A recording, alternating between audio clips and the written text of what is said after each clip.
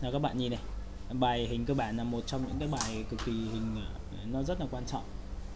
Bởi vì tất cả những cái giá trị về thiết kế thì nó bắt đầu từ những cái hình như là hình vuông, hình vo góc, hình tròn, hình lục giác, hình ngôi sao và một số cái thực tính nữa là cái này anh đã dạy cho em làm quen với cái bài, đó là bài về điện thoại rồi. Thì qua mỗi bài này thì ờ, đối với dân đồ họa thì ờ, mỗi người làm cho anh khoảng 10 10 bố cục liên quan đến hình vuông sau đó thì liên quan đến hình vo góc thì em sẽ làm khoảng 10 bố cục. Đến hình à, uh, enit thì em làm 10 bố cục tiếp theo. Rồi hình độc giác của bố cục vậy tương đương với giá trị là 10 20 30 40 40 hình. 40 bố cục khác nhau. Bởi vì này, nếu em làm được cái điều này thì sau này khi mà em đi làm thì em không lăn tăn chuyện là mình phải đi chép của ai cả. Mình tự làm. Bởi vì mình làm rồi. Còn đối với dân uh, thiết kế thời trang thì cái này nó liên quan đến cái việc mà em ờ, vẽ những bản vẽ kỹ thuật làm sao nó đúng bởi vì nó liên quan đến việc đánh kích thước cho đối tượng. Nào bây giờ thì chúng ta sẽ vào bắt đầu nhé.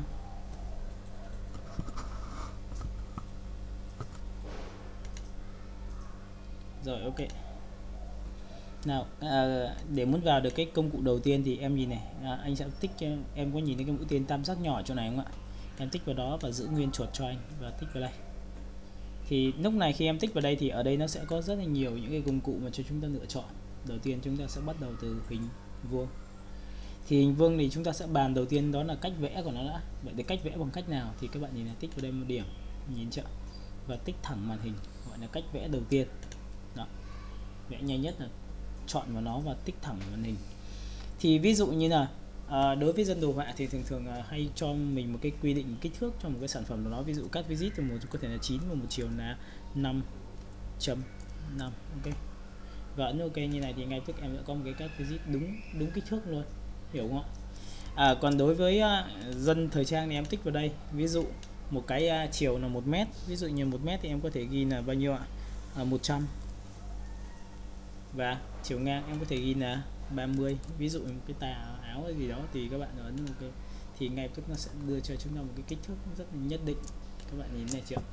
Còn tất nhiên là quy trình từ đây cho đến đây, sau đó chúng ta chỉ vẽ bên trong thôi. Vẽ bên trong nó thì ngay tức chúng ta sẽ vẽ rất là chính xác về cái hình. Và lúc này chúng ta sẽ đưa cái miếng cắt này, đưa sang cho bộ phận cắt người ta chỉ việc cắt theo và đi may thôi. Nào, vậy thì với cách vẽ như vậy thì bây giờ người ta sẽ làm như sau. Em nhìn này vậy thì cách vẽ đầu tiên là tích thẳng màn hình rồi, đúng không ạ? Còn cái cách vẽ thứ hai này, em vẽ trước. Cách vẽ thứ hai là vẽ. Sau đó chúng ta đánh kích thước bằng cách nào? Thì để muốn đánh được kích thước đổi đối tượng thì người ta sẽ quét vào đối tượng đó và chọn vào bảng transform các bạn nhìn này chưa? Cái bảng transform là bảng đánh được kích thước của đối tượng thì bạn nhấn vào đây cho anh thì ở đây nó sẽ có kích thước chiều dài, chiều rộng. Lúc này chúng ta gõ vào đây, một chiều có thể là 9 một chiều có thể là 5 thì nó rất là dễ ra thôi, các bạn hiểu cái này chưa? Ấn enter đây chính xác là đối tượng rồi đấy. Đấy, có nghĩa là sau này khi em kích, thiết kế bất cứ một cái gì đó thì nó phải có kích thước cụ thể, chứ không phải là giống như là những buổi đầu chúng ta tính áng chừng. Chúng ta vẽ là áng hết. Không có một kích thước liên quan đến một cái cái sản phẩm nào cả. Thì bây giờ các bạn phải cần như vậy. Hiểu cái này chưa đã? À, đối với nam thì về nhà các em em có thể là làm đến những sản phẩm như là ví dụ như cái cái tà áo của em là dài rộng bao nhiêu em đo cho anh. À, em, có hai cách người ta đo xong người ta chụp lại. Sau người ta ướm lên là à chiều cao nó bao nhiêu thì người ướm vào trong cái khổ vuông thì ngay tức người ta vẽ theo. Đồ lại thì ngay tức kích thước nó sẽ không bao giờ bị lệch đấy. Trong quá trình đánh kích thước thì các bạn để ý cho anh một tí đó là về cái biểu tượng khóa. Cái nhìn cái khóa này chưa? Có nghĩa là khi em khóa lại thì em thay đổi một chiều thì chiều khác cũng thay đổi theo. Ví dụ anh tính 13 ấn enter thì ngay tức chiều kia nó cũng thay đổi theo. Hiểu cái này chưa đã? Nó ăn theo tỷ lệ của em. Ok, còn khi mà chúng ta mở khóa ra thì chúng ta thay đổi theo từng chiều. Ví dụ, một chiều tôi chỉ đến, đánh là 9 thôi. Ok. Em thấy chưa một chiều 13 một chiều 9 hiểu cái này chưa? À, vậy tại sao lại sinh ra cái việc này? Bởi vì là trong việc thiết kế đồ họa thì nó cũng có một cái phần nữa là em thiết kế là những sản phẩm nó ngoài khổ. Ví dụ một mét rưỡi. Ví dụ em làm biển quảng cáo một mét rưỡi. Trong khi đó khi sau khi em làm xong thì em phải gửi cho khách hàng xem về cái bản market thì mình cũng không ai dạy gì mà đi in mét rưỡi cả. Em thấy không?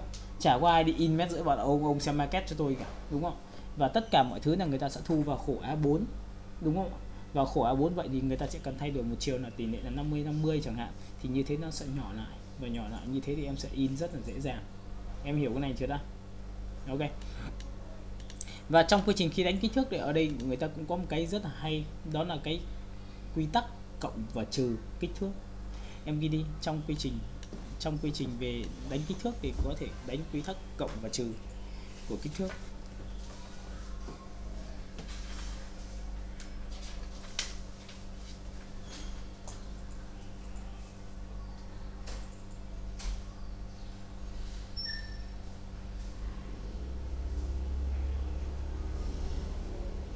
Cộng và trừ kích thước.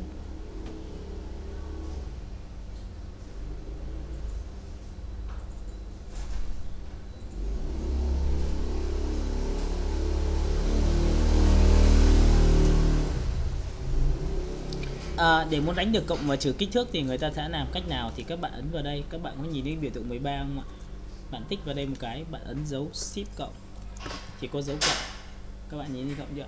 Tôi có thể ấn vào cộng 5 ví dụ như là cái này liên quan đến việc mà nan làm à, nó cộng bao nhiêu phần thì em sẽ tính được điều đấy. Ok. Nhìn này chưa? Và ấn, enter. Thì ngay lập tức ấn transform thì em có thấy là, thấy chưa? Cộng 5 và tất nhiên, nó có thể ấn được dấu trừ không em? Thử ấn dấu trừ xem. Trừ 5 enter. Em thấy nó chuẩn chỉnh nhá vậy thì trong quy tắc về đánh kích thước, người ta vẫn có thể đánh được cộng trừ, đúng không ạ? Còn đối với những cái bạn nào mà liên quan đến cái việc uh, làm về thời trang đây ví dụ như này. À, có bạn làm thì bạn Mỹ làm cái này ví dụ bạn tôi tích vào cái cổ áo như này chẳng hạn. À, tôi khóa cái này lại một tí bằng Ctrl 2 còn nhớ Ctrl 2 không ạ? Tôi chọn là pen tôi tích vào đây một điểm. Tôi bẻ cong cái này một điểm. Ví dụ như anh cũng không biết thời trang lắm nhưng mà thôi anh cứ tạm thời anh vẽ như này đi. Xuống đây một chút xíu. Xuống đây một chút xíu. Đấy, ok.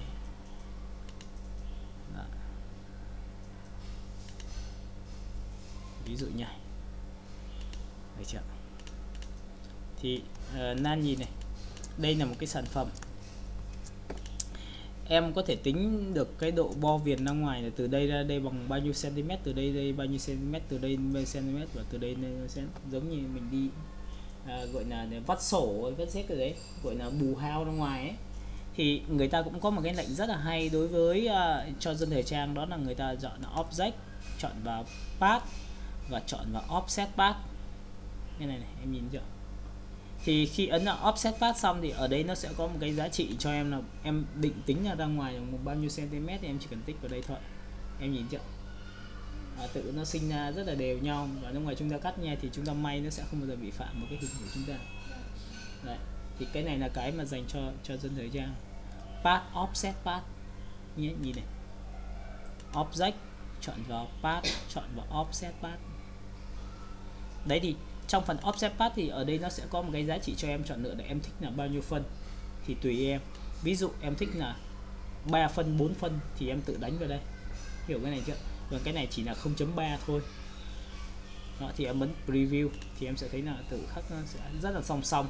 Từ đây đây ra đây, từ đây đây ra đây và từ đây ra đây thì tự khắc nó sẽ rất là đều nhau.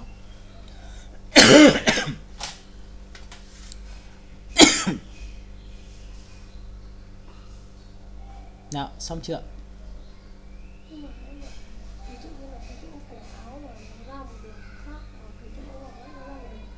đâu chỗ nào em? À. à, cái này xuống là ba phân nhá thì thì người ta có có rất nhiều cách. Ví dụ như em nhìn này. Ở đây nhá một là người ta xuống 3 phân thì người ta vẽ thêm cái giá trị từ đây đến đây người ta đánh một kích thước xong là người ta dùng phí ma à? tích vào đây. Nhìn chậm sau người ta kéo xuống nhẹ cũng là ba phần. Ok. Đấy thì có những cái thì nó cũng không thể hiểu theo cái cái cái thực thuộc tính của cái người người người dùng được, bởi vì đây không phải là phần mềm mà sinh ra để vẽ cho thời trang không? Bởi vì phần mềm Getcha của em ra thì mới là phần mềm chuyên gia vẽ thời trang thì nó sẽ chuẩn hơn. Ok. Rồi thì bây giờ nó liên quan tiếp theo một cái giá trị nữa là trong quy trình à, khi mình làm về hình vuông. Nào, các bạn nhìn này. Thì chúng ta có thể chọn cho nó một cái gradient. Trong phần gradient thì em sẽ thấy rằng là ở đây nó sẽ có một cái màu. Em có thể chọn cho một cái màu. Và bên này tôi sẽ chọn cho nó một cái màu khác đi, xanh. Và tôi chọn vào gradient rồi các bạn sẽ kéo đây. Như này chưa? Thì đối tượng với công cụ transform em có nhìn vừa rồi chúng ta đánh transform không? thì ở đây nó có một cái biểu tượng rất hay, đó là lật lật đối tượng sang phải và sang trái bằng cách như sau. Em ghi đi, file, paste. Để muốn lật đối tượng sang phải, sang trái, lên trên và xuống dưới, các bạn có thể chọn theo phương thức như sau. Thư viện ảnh. Chúng ta chọn vào gương.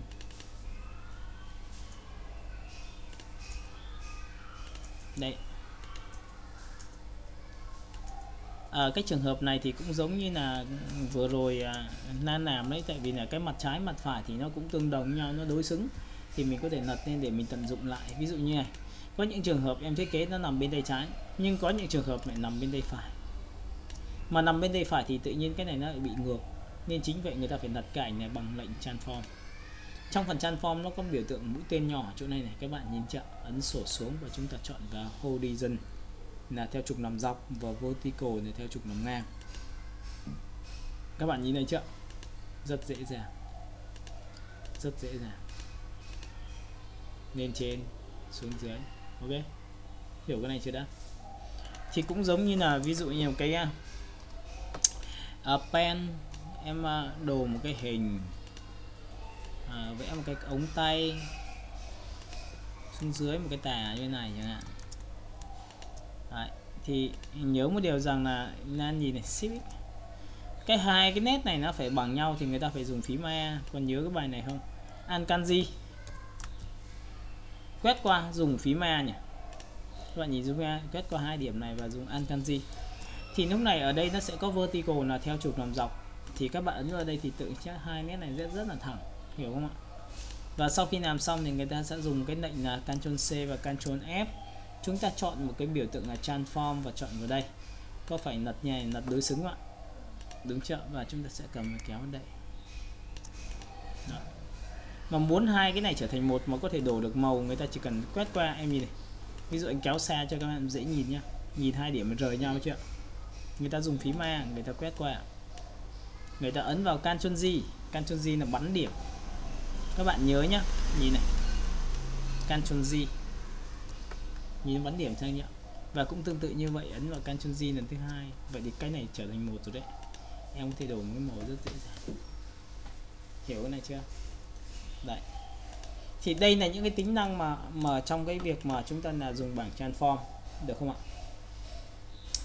À, vậy thì sau khi mà đã hiểu về cái tính năng đấy thì bây giờ chúng ta lại tiếp tục đến cái phần là biến đổi về về cách chia hình vuông. Các bạn ghi đi. Cách chia hình vuông như sau.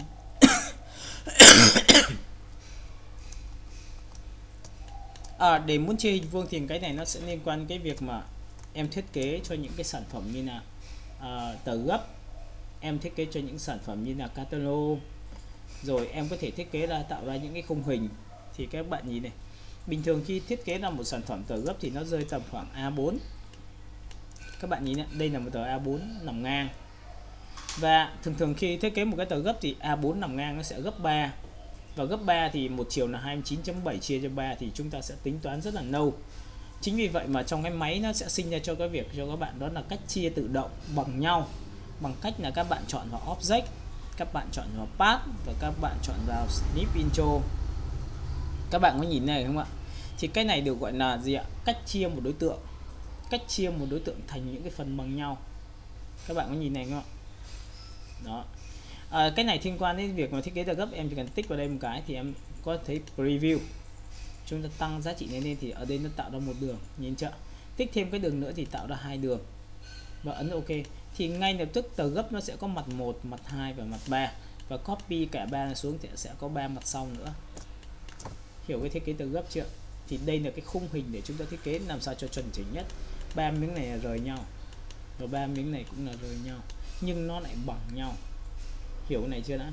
Còn khi thiết kế catalog thì người ta chọn A3 chia cho chia đôi. Hiểu không ạ? Hiểu cái này chưa đã? Cách chia nhớ chưa rồi à, khi mà các bạn đã hiểu về cái tính chất mà cách cách chia rồi thì bây giờ chúng ta sẽ liên quan đến cái việc đó là tạo hình cho sản phẩm tạo hình cho sản phẩm bằng cái gì? Đó là chúng ta sẽ biến đổi về một chút xíu về hình vuông. Ví dụ như là chúng ta vẽ ra một cái hình. Đây chúng ta sẽ kiếm một cô gái. À, chúng ta sẽ kéo xuống một chút xíu. Thì nguyên tắc để muốn làm cho cái ảnh này chìm vào nền thì có phải là chọn vào đối tượng sau đó chọn vào transparency. Tích đúc vào ô gần ô ảnh bỏ một cái clip đi để chúng ta sẽ nhìn được cái hình ảnh đó. Sau đó dùng một hình vuông vẽ to hơn hoặc bằng. Nhìn này chưa? Và lúc này chúng ta sẽ sử dụng cái lệnh là mặt nạ đen và mặt nạ trắng để làm sao cho hợp lý. Ví dụ, các bạn chọn vào mặt nạ trắng. Các bạn nhìn chưa? Thì trong trường hợp này nó bị mờ mờ bởi vì chúng ta đang dùng cái hiệu ứng đó là hiệu ứng radian. Chúng ta sẽ sổ xuống chọn vào hiệu ứng từ trái qua phải. Và lúc này các bạn dùng phím G bạn quy định chỗ nào rõ thì bạn sẽ bắt đầu từ đấy bạn kéo về. Thì cái ảnh sẽ tự chìm vào nền và lúc mà chúng ta thoát lệnh bằng lệnh là tích ra ô ảnh. Được không ạ? À, trong quy trình khi làm thì người ta tạo ra một cái hình vuông. Và tất nhiên người ta tạo ra tính chất trang trí trong hình vuông bằng cách là người ta chọn một cái màu trắng. Bạn nhìn màu trắng của tôi chưa? Sau khi đã có màu trắng xong thì ở đây người ta sẽ có lệnh là object chọn vào path chọn vào steep intro thì lúc này người ta sẽ có một tính năng là chia theo trục nằm dọc. Bạn nhìn theo trục nằm dọc chưa? 5 cái. Ok cũng tương tự như vậy tôi sẽ chia theo trục nằm ngang 5 cái. Hãy tự chia đều nhau. À, em còn nhớ cái bài tập đầu tiên mà chúng ta học không ạ? Là phải dùng rất nhiều hình vuông cứ copy paste sang bên cạnh. Làm sao cho nó khít vào nhau đúng không ạ?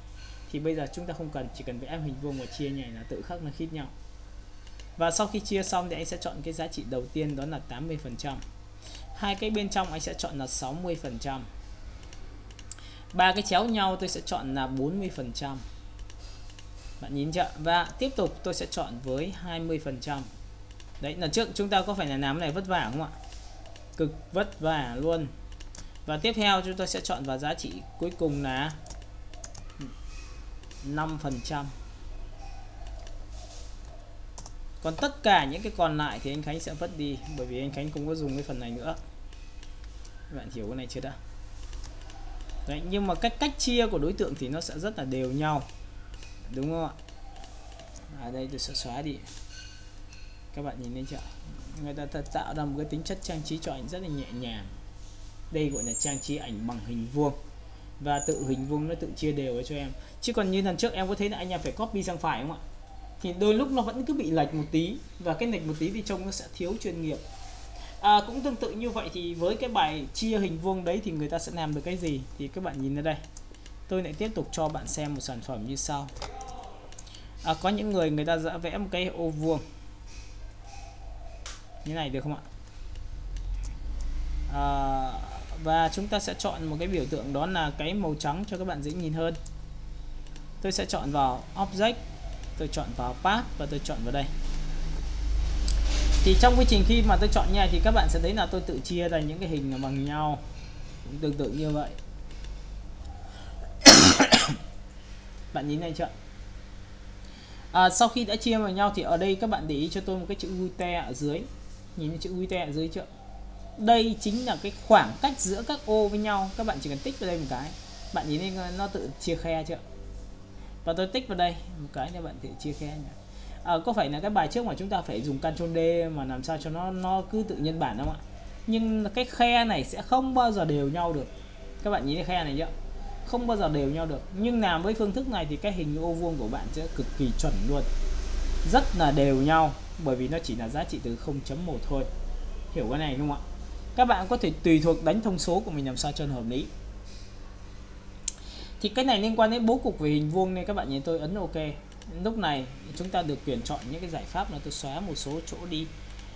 Tôi sẽ xóa một số chỗ đi chẳng hạn như này. Các bạn nhìn này chưa? Sau đó tôi quét qua toàn bộ tất cả đối tượng. Các bạn nhìn này chưa? Tại vì đây là những đối tượng gọi là đối tượng rời. Muốn nó trở thành một, muốn nó trở thành một, thì các bạn sẽ phải chọn vào object và chọn vào combo path và chọn vào control 8 group nó chỉ là một cái giải pháp về tạm thời thôi. Còn muốn mà cho ảnh chui vào hay là cho cái gì chui vào bởi vì mình muốn tạo ra những cái bố cục khác thường thì em chọn vào đây. Nhìn nhá. Và sau khi đã chọn xong cái này thì tôi sẽ làm gì à, tôi sẽ chọn vào file tôi chọn vào page.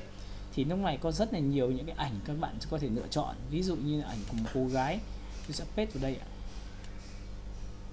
À, cho xuống dưới tất cả chọn đối tượng số 2 và chọn vào can chôn số số 7 thì các bạn sẽ thấy à nó sẽ được chui vào như này đúng không à, còn trong một số trang phục thì các bạn sẽ thấy rằng là khi tôi chọn là pen à, tôi tích vào đây một điểm tôi tích vào đây một điểm tôi tích vào đây một điểm tôi tích vào đây một điểm à, tôi tích vào đây một điểm tôi tích vào đây một điểm tôi tích vào đây một điểm tôi tích vào đây một điểm tôi tích vào đây một điểm tôi tích vào đây một điểm ok Đấy, ví dụ như này thì các bạn nhìn này tôi sẽ kéo cái này ra một chút xíu nhìn không ạ? Tôi sẽ chuột phải tôi sẽ cho nó ra ngoài. Nhìn ra ngoài chưa? Thì các bạn có đồng ý với tôi đây là những cái màu mà chúng ta vừa làm không ạ?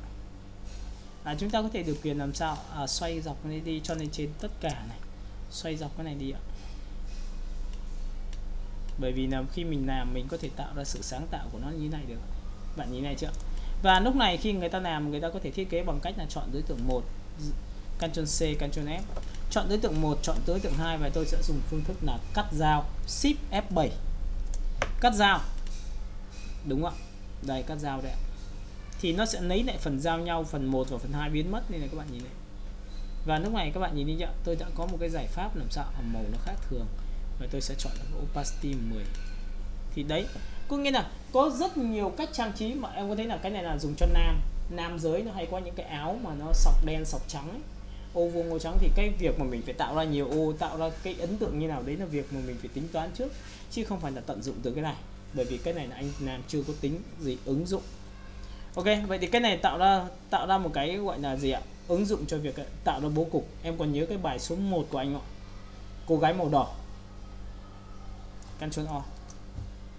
Chúng ta sẽ chọn ở ổ E chúng ta sẽ chọn vào AI và chúng ta chọn vào bài 1 đây thì em sẽ thấy rằng là cái bố cục này chính là bài bố cục số 1 của bài 1 đây ạ. Còn nhớ bài này không ạ? Đấy, thì chính là chúng ta tạo ra bằng cái hình vuông nhưng cái này nó rất là chính xác. Hiểu chưa? Nó đều nhau. Rồi, cũng tương tự như vậy thì có những người người ta sẽ dùng những cái gì ạ? Chúng ta sẽ kéo xuống một chút xíu nữa để cho nhớ hơn. Nào, chúng ta vẽ một cái hình vuông lúc này anh em sẽ vẽ một hình vuông. Và sau khi vẽ hình vuông xong thì tôi chọn màu trắng và tôi lại tiếp tục chọn object. Tôi lại chọn vào path và tôi chọn vào đây thì các bạn nhìn này khi tôi tích vào đây một chút xíu thì chúng ta sẽ thấy rằng à, nó sẽ tự chia ra cho chúng ta rất là nhiều lần. Tôi sẽ chọn tăng giá trị là số 5 và tôi tăng cái này lên một tí và tôi tăng cái này lên một tí. Bạn nhìn không ạ? Sau khi đã làm xong, tôi được quyền làm sao ra góc biểu tượng và tôi xoay góc nhảy. Bởi vì tôi muốn tạo ra một tín hiệu đồ họa khác thường nên tôi sẽ có thể là xoay góc nhảy được không ạ? Ok. Và sau khi xoay góc như thế xong, tôi sẽ chọn vào object và chọn vào compo path và chọn vào Ctrl 8 bởi vì nguyên tắc của tất cả những cái đối tượng này là đối tượng rời. Nên muốn mà cho ảnh chui vào thì nó phải là trở thành một đã. Và sau khi đã trở thành một rồi thì tôi sẽ chọn nó gì ạ? Tôi sẽ nhân bản đã. Các bạn nhìn đi. Ctrl C Ctrl F. Nhìn thấy hai cái chưa? Tôi chọn một và hai. Tôi sẽ dùng cắt dao. Đó là cái này. Đấy, bạn nhìn chưa? Tôi đổ một cái màu khác cho bạn dễ nhìn. Đó, bạn nhìn chưa? Nhưng khi cắt dao xong thì đối tượng này quay trở về như như hình cũ. Đó là gì? Nó chỉ tồn tại dưới dạng group thôi, bởi vì chúng ta lại tách ra ăn group. Các bạn nhìn này chưa? Hiểu cái này chưa đã? Và bây giờ muốn cho ảnh chui vào tất cả những cái ảnh cái cái hình màu xanh nhạt như này thì chúng ta phải lại phải lại quét qua lại phải chọn vào object, chọn vào combo path và chọn vào căn 8 có nghĩa là cứ cắt dao xong thì nó lại trở về định dạng như cũ.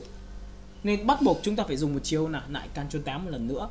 Thì đối với Ctrl 8 xong thì em lại chọn vào file, lại chọn vào page. Thì lúc này em đã có được một cái hình ảnh. Các bạn nhìn đấy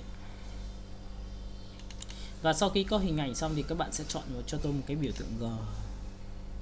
Đây, các bạn nhìn nhận rất là dễ dàng cho xuống dưới tất cả và chọn ở đối tượng 2 và can trôn số 7 đó em nhìn chậm. đây cũng là một bố cục nhưng bố cục chúng ta khác ngang dọc. Em hiểu cái này chưa đã? Rồi tiếp theo chúng ta sẽ chơi trò là biến đổi về hình vuông. Ok em ghi đi cách biến đổi hình vuông tiếp theo.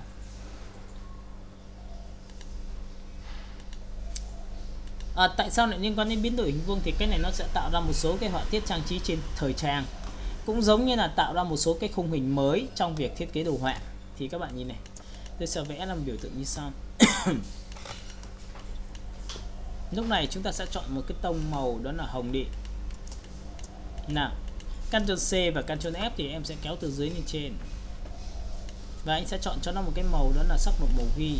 Nhìn nó màu ghi của anh chưa? Màu ghi và màu hồng. Lúc này anh sẽ vẽ một cái ô vuông, anh quét qua đây. Nhìn không ạ? Anh sẽ biến cái hình này trở thành hình bông hoa được bằng cách là anh chọn vào effect. Anh chọn vào desktop transform và anh chọn vào đây.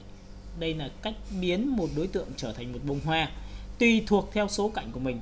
Thì trong cái phần này nó liên quan cái việc mà à, đối với dân thời trang hay tạo ra những cái phụ kiện để gắn trên cái váy hay cái quần hay cái thắt lưng làm sao cho nó đẹp. Nhá. Váy quần và thắt lưng.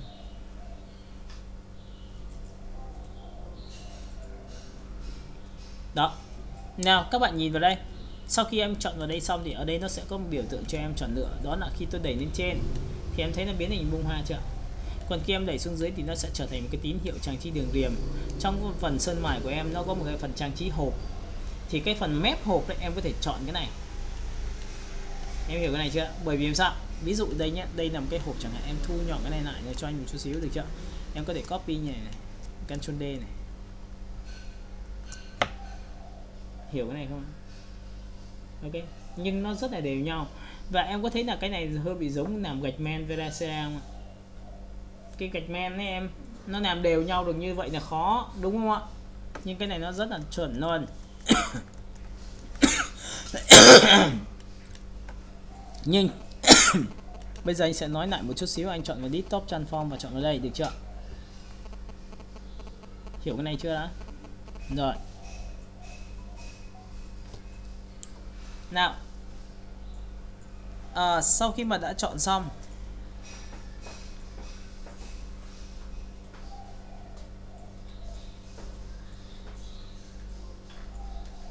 một bạn bạn làm khá đẹp.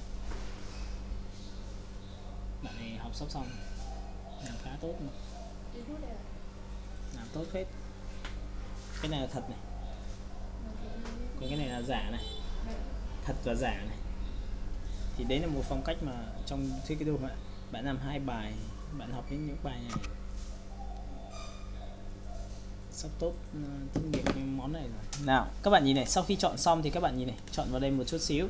Và tôi tăng lên thì có phải tạo hình bông hoa không ạ? Đúng chưa?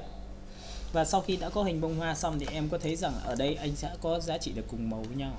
Thì em thấy chưa? Anh có thể tạo ra tín hiệu là trang trí một cái góc như này đúng không ạ? Thì à, đối với nan thì có những cái táo nó có dọc em có thể khoét một chỗ tạo ra một cái tín hiệu chỗ như này. Đó thì anh sẽ Ctrl C và Ctrl B bò. Anh sẽ phóng to một chút xíu và anh chọn vào biểu tượng 50 phần trăm. Đúng này chưa thì sau khi đã có được hai cái đối tượng này thì tôi muốn group cả hai đối tượng này thành một để tôi copy thành bên đây file để cho nó nhỏ hơn. Thì để muốn làm được điều đấy thì thường thường anh Khánh dùng một lệnh đó là Ctrl Y dài. Nhìn Ctrl Y dài chưa và khi ấn vào Ctrl dài thì em thấy là anh quét qua đây có dễ không? Đúng không em? Còn nếu em không có Ctrl dài thì em quét qua đây có khó không? Nó bị dịch vào cái miếng màu màu hồng. Ok, hiểu này chưa? Nên chính vậy mà anh sinh ra cái chuyện Ctrl dài anh quét qua đây, anh nhấn vào Ctrl G, sau đó anh nhấn Ctrl dài thì lúc này anh sẽ copy sang bên tay phải và anh thu nhỏ cái này lại tí. Em thấy chưa? Ở đây nó gọi là tạo ra tính chất trang trí đấy. Đấy nhìn trang trí chưa? Trang trí đường viền. Đúng không? Trang trí một số cái sản phẩm như là ở trên cổ áo, rồi một số cái gì đó, các bạn có thể trang trí này. Nhưng cái này nó hợp với cái gì? À nó có hợp với đường thẳng không? Nó sẽ không hợp bằng đường cong được. Đúng không ạ? Nên người ta có thể tạo ra một sản phẩm như sau, đó là các bạn còn nhớ cái bài pen của anh không ạ? Pen là gì? P cộng. Thêm một điểm ở giữa. Đúng chưa? Chúng ta ấn shift C là bẻ cong một cách trực tiếp thì các bạn kéo nhẹ thì tự khắc nó sẽ làm sao? Bẻ cong cách trực tiếp ok? Và lúc này chúng ta có thể ấn vào Ctrl Y dài để làm gì? Quét qua cả ba này đặt ở vị trí dưới. À, nó sẽ làm sao? Nó sẽ đẹp hơn. Nhìn này chưa? Rồi cũng tương tự như vậy Ctrl C và Ctrl B bò. Chúng ta lại đẩy lên trên một chút xíu và chọn cho nó giá trị bằng 30 phần trăm 50 phần trăm. Em nhìn chưa? Vậy đây là một sản phẩm thiết kế hiểu này chưa ta? À, cái này cũng tương tự như là bài chúng ta đã làm đó là bài số E. Chọn vào AI và chọn vào pen. À, đâu rồi? Đây.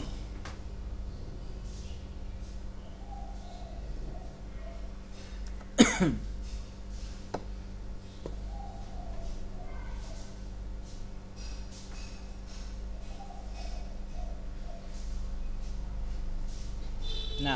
chúng ta sẽ chọn vào đây. Thì các bạn có nhìn thấy cái này chưa đấy cũng là một cái tính chất tín hiệu đồ họa nhưng người ta có thể làm ra những cái dòng như thế này. À, còn à, bên này thì chúng ta sẽ làm như thế này thì có phải là các bạn vẽ thêm trái tim vào thì đây nó cũng rất là hợp lý không ạ? Thậm chí nó còn hợp lý hơn so với cái phiên bản bên này đấy ạ. Các bạn nhớ nhá. Rồi sau khi bạn các bạn đã làm xong về cái thuộc tính của, của cái công cụ là biến đổi hình vuông trở thành hình bông hoa rồi thì bây giờ chúng ta sẽ biến đổi cái hình vuông thành hình bông hoa nhưng lại là khung hình để cho chỗ ảnh chui vào. Thì các bạn nhìn này lúc này tôi sẽ chọn một biểu tượng. Được chưa? À, cũng tương tự như vậy thì anh Khánh sẽ vẽ một cái hình bình thường và anh chọn một cái màu. Nhìn màu chưa? À, có phải là anh chọn vào effect anh chọn vào detox transform và anh chọn vào đây thì có phải trở thành hình bông hoa không em? Đúng chưa? Thì nguyên tắc cái hình bông hoa này này các bạn nhìn này anh Khánh có thể dùng cái hình bông hoa này anh cắt dao với hình à, màu tím được không ạ? Cắt dao thì có phải tạo ra một cái hình, miếng hình mới nhỉ em ạ? Trông nó sẽ khác bình thường đi. Đó là em chọn hình đường tròn rồi em lại chọn hình đường vắt chéo đúng không ạ? Bây giờ nó hình theo kiểu nửa bông hoa như này này các bạn nhìn này chưa? Ok. Vậy để muốn làm được điều đấy thì cái hình này đang mang cái giá trị là biểu tượng của effect có nghĩa là nó đang mang hiệu ứng của effect thì em phải làm mất cái hiệu ứng này đi rồi em mới cắt dao được. Thì để muốn làm mất hiệu ứng đấy, người ta dùng lệnh object, người ta chọn vào fatten fatten transparency là phá vỡ định dạng của hiệu ứng, trở về đối tượng thường. Đó. Nào, các bạn nhìn này, sau khi phá vỡ định dạng của đối tượng đấy thì các bạn nhìn này, tôi ấn vào đây một cái thì lúc này chúng ta sẽ có một cái giá trị alpha. Và chọn ok. Thì các bạn nhìn thấy đối tượng thường chưa mà đã là đối tượng thường thì tôi sẽ nhân bản cái lớp nền là làm hai, Ctrl C và Ctrl F. Tôi chọn đối tượng 2 tôi cắt dao bằng bảng Shift F7 nhìn này không ạ? Thì các bạn nhìn này, sau khi tôi tích vào đây thì tôi đã có một khung hình mới. Và cái khung hình mới này tôi có thể được quyền là chọn là file và chọn là page chúng ta lại có một giá trị ổ e. Chúng ta lại chọn vào thư viện ảnh chúng ta lại chọn vào đồ ăn chúng ta lại chọn vào đồ ăn những cái gì mà chúng ta thích. Bạn nhìn này chưa? Và tôi lại cho xuống dưới tất cả. Tôi lại chọn vào đối tượng 2 và tôi chọn chọn vào Ctrl số 7 các bạn nhìn chưa? Khung hình mới đúng không ạ? Với bài tập là hình vuông. Ok? Hiểu cái này chưa đã? Rồi tiếp theo. À, vậy thì cách biến đổi hình vuông nó còn có cái giá trị gì nữa không? À nó có chứ ạ. Bây giờ các bạn ghi đi cách biến đổi hình vuông ở cấp độ 3 cách biến đổi hình vuông ở cấp độ 3 như sau.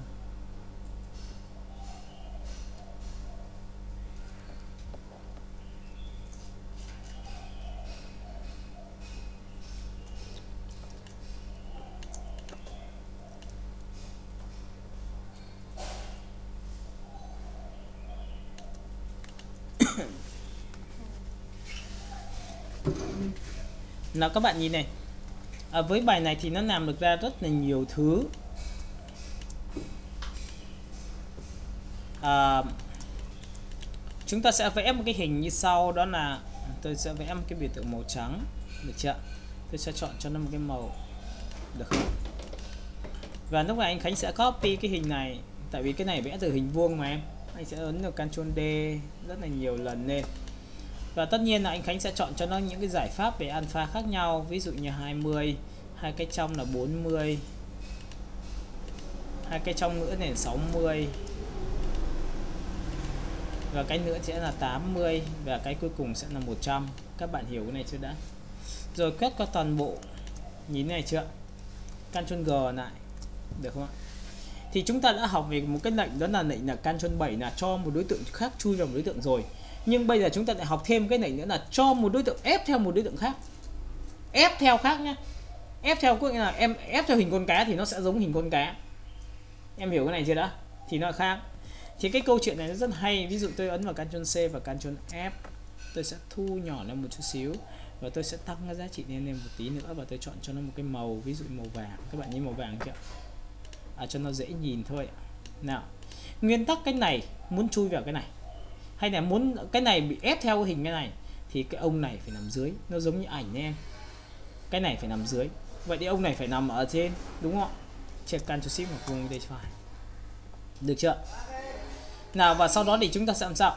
À, đối tượng muốn ép theo thì có thể là một đối tượng.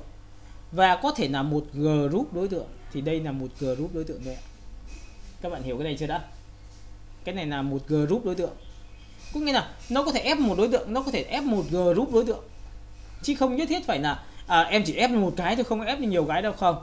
Các bạn nhìn này tôi chọn đối tượng một sau đó tôi giữ shift tôi chọn đối tượng hai các bạn nhìn này chưa các bạn sẽ dùng cái lệnh là object các bạn sẽ chọn vào Alcan C.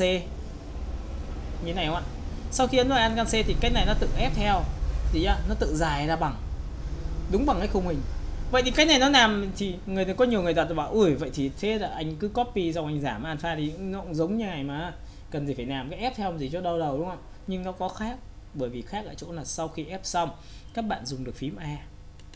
Và sau khi phím A xong bạn tích vào đây một tí cho tôi thì ở đây nó có cánh cái đòn bạn có thể bẻ cong.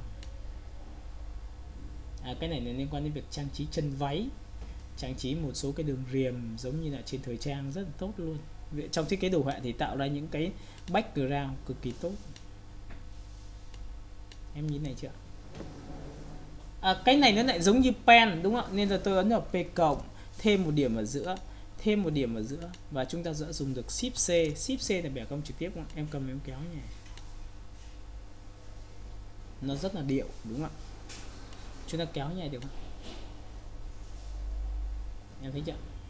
Và tất nhiên chúng ta có thể dùng được phím mà. Đấy chúng ta có thể đẩy lên trên đẩy xuống dưới em nhìn nhá. Chuyển động rất là tốt. Và sau khi làm xong thì chúng ta sẽ làm gì ạ? Chúng ta sẽ hòa trộn được nó không ạ. Em thấy chưa? Nó tạo ra những cái nền background trông rất là chuyên nghiệp. À, cũng tương tự như vậy thì có nhiều người người ta có thể làm cái gì? Ví dụ đây tôi có một cái váy của cô gái được không ạ? Nhìn chưa? Ví dụ bạn nào bạn nan là bạn có một cái ý tưởng là bạn muốn ép một cái sản phẩm uh, họa tiết hoa văn nào vào uh, theo cái cách của bạn mới hoặc là ép chữ vào thì người ta có thể dùng cái công cụ đó là công cụ về nhìn này chưa? Công cụ này là công cụ cắt ra từng phần riêng biệt này em nhìn này? Ví dụ tôi cắt nhỉ đó thì tôi được cái phần này.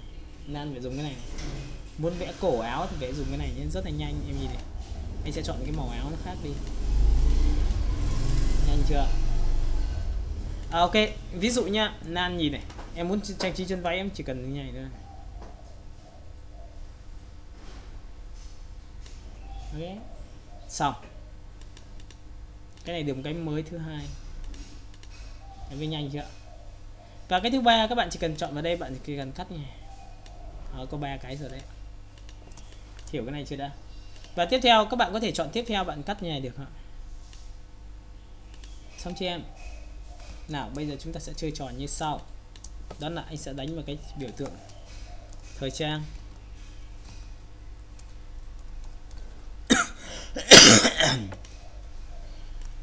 À, chúng ta sẽ copy sang một sản phẩm mới và chúng ta đánh một cái tên mới. À, chúng ta copy được một cái đối tượng mới và chúng ta sẽ đánh một tên mới. Ở đây có bao nhiêu chỗ thì chúng ta sẽ đánh bấy nhiêu chỗ.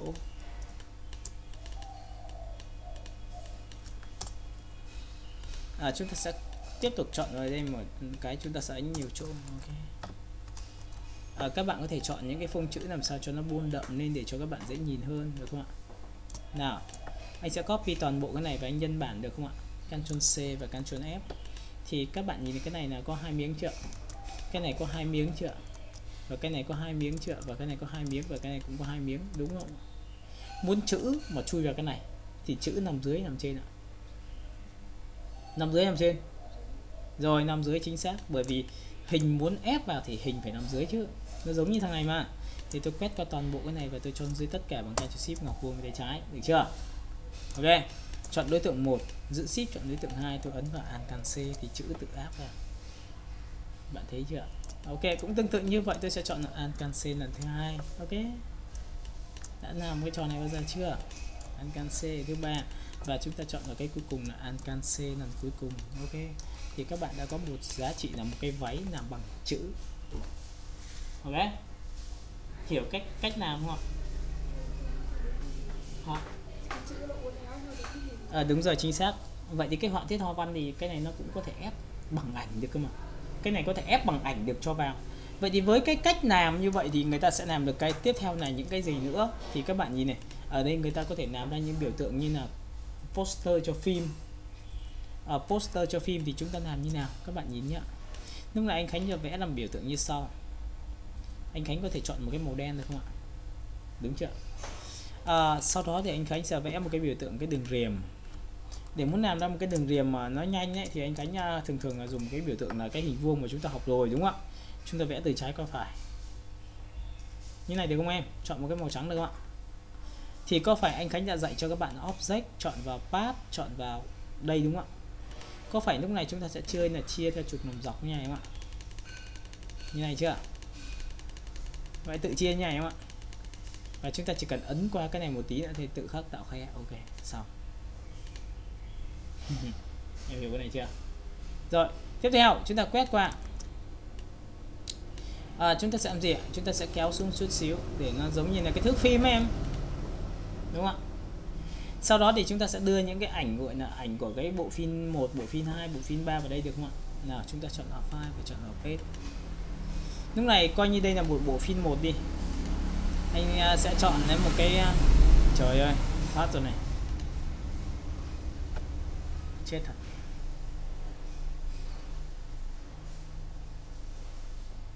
Ừ? bật lại chút xíu đấy cái này có người ta có thể làm những cái thước phim uốn éo được. Rồi à, làm ra những cái biểu tượng như là uốn người ngựa các kiểu luôn. Thì à, khi mà các bạn có một cái à, van hay cái gì đó bạn có thể uốn theo váy viết được cái, cái này cũng làm được hết. Nào các bạn nhìn này tôi sẽ chọn vào Ctrl N anh sẽ đánh sẽ vẽ một cái hình. Đầu tiên là cái hình màu đen. Đấy. sau đó anh Khánh sẽ chọn vào cái page để anh Khánh kiếm một cái ảnh đi anh sẽ chọn vào ổ E anh chọn vào thư viện ảnh anh chọn vào phim được không ạ? Và lúc này anh sẽ chọn một cái biểu tượng người đồng chí này. À, coi như đây là một bộ phim đi được không ạ? Anh rasterize cho nó ảnh nó nhẹ hơn chút xíu các bạn nhìn này.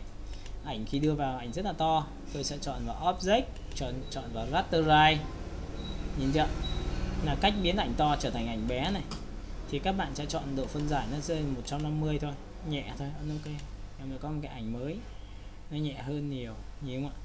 Anh cỡ copy cái hình này ra bằng Ctrl D đó. Ok lúc này anh sẽ kéo dài này ra được không ạ? À, thế là anh đã có một thước phim. Tiếp theo anh sẽ vẽ một cái hình vuông. Và cái hình này anh có thể chọn cho nó một cái biểu tượng là màu trắng. Anh copy cái màu này ra bằng Ctrl D. à, thừa rồi. Chúng ta xóa cái phần thừa đi. Được không ạ? À, các bạn hiểu cái này chưa? Sau đó thì tôi sẽ quét qua toàn bộ cái phần phía trên một chút xíu và làm sao tôi copy xuống dưới ạ. Các bạn nhìn chưa? Rồi cái nguyên tắc của một đối tượng muốn chui vào một đối tượng ép theo một đối tượng khác thì có thể là một đối tượng và có thể là một group đối tượng thì đây là một group. Tôi ấn vào Ctrl G trước. Được chưa? Sau đó tôi sẽ làm sao? Tôi sẽ vẽ một cái hình mới cho nó chui vào. Đây, hình mới cho chui vào đấy hình này trên chưa? Rồi, đúng không ạ? Quét qua cả hai và ấn vào Alt C. Ảnh tự chui vào. Được chưa? Lúc này các bạn chỉ cần dùng công cụ là pen cộng, thêm một điểm ở giữa, thêm điểm ở giữa và dùng shift C thì các bạn sẽ tự bẻ cong được nhìn này chưa? Và đây là một trong những cái chiêu mà chỉ có trong Inut mới bẻ cong thôi, còn Photoshop chưa chắc bẻ cong được như thế này đâu nha. Bạn không tin, bạn cứ thử làm Photoshop xem. Photoshop mà làm như này cực kỳ khoai luôn. Không làm được. Bạn chỉ bẻ góc của Photoshop thôi, đúng không ạ? Còn cái này nó có thể thêm nhiều điểm này, em nhìn này, pen cộng này. Nhìn chưa? Thêm điểm này, nhìn chưa? Lại dùng ship C này em bẻ này. Em nhìn chưa? Nó uốn là những đoạn phim trông rất là hấp dẫn. Ok? Vậy thì sau khi người ta làm này người ta làm ra những cái poster phim rất, rất là ấn tượng. Hiểu cái này chưa? Vậy thì với cái bài tập như vừa rồi thì anh đã làm cho các bạn về biến đổi về hình vuông. Bây giờ thì các bạn sẽ cố gắng thực hành giúp cho anh chơi. Lúc này sẽ stop.